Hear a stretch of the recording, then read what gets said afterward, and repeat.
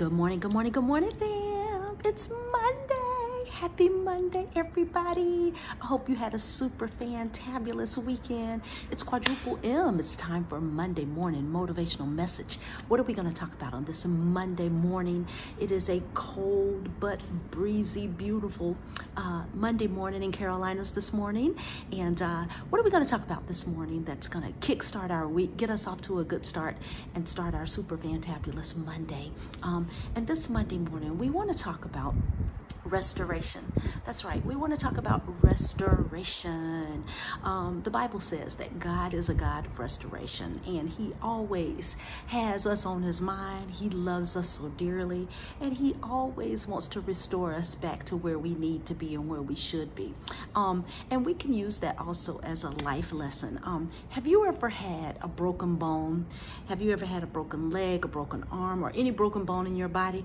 I have. And I remember when I uh, broke my leg years ago, um, and the doctor said that the broken bone will grow back stronger than the bone that did not break in the other leg. And I thought, hmm, how is that? You know, and even though I was just a kid at the time, I still thought, well, how is that?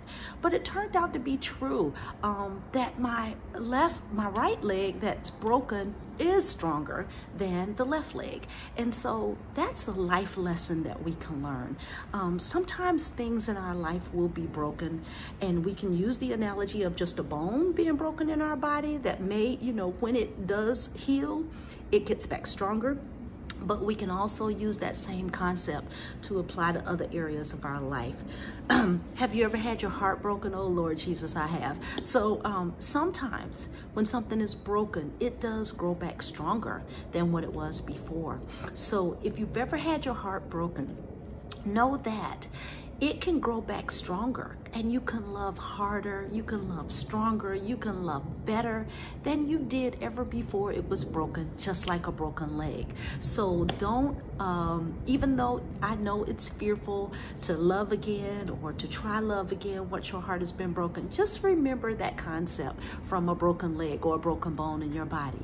The same goes for relationships, broken relationships, you know, rather it be a marriage, rather it be a friendship or a broken relationship with a family member or even a broken relationship with um, a colleague or uh, someone at work, just remember that if God is the God of restoration, He does give us tools to restore things back.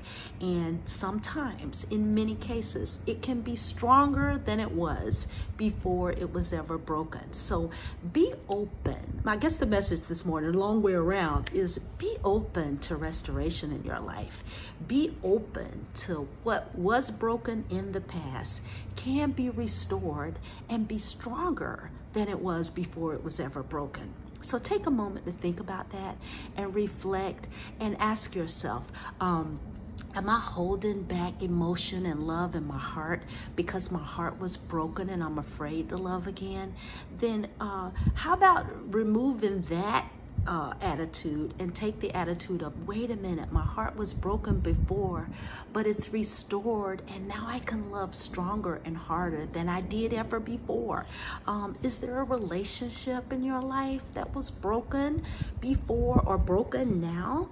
Be open to restoration. Be open to restoring that relationship um, because it has the potential to be stronger than it was before. Okay? So we know that this concept may not apply to everything in your life, but for the things that it does, and for the things that you're feeling in your heart as you're hearing this message, that it applies to then my encouragement to you and my encouragement to myself is to be open to restoration because God is a God of restoration. And if He gives us the ability to restore and forgive and be stronger than we were before the brokenness, then that means that we have the ability and the potential to do that. So, okay, so that's the message for the day.